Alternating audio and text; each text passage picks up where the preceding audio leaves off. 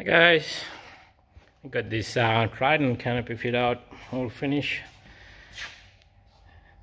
with Enerdrive 200 amp BTEC lithium, low voltage battery guard on this side, and just the usual Hardkorr lighting, two work lights on the, on the back too.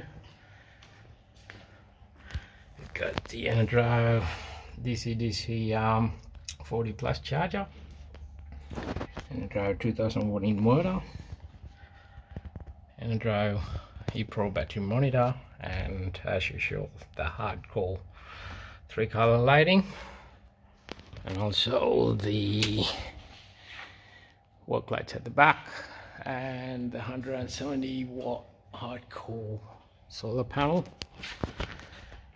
flush mounted Anderson connections in the front in the inside and uh, another one externally as well. USB sockets, cigarette lighter sockets, the usual stuff. And yeah that's it man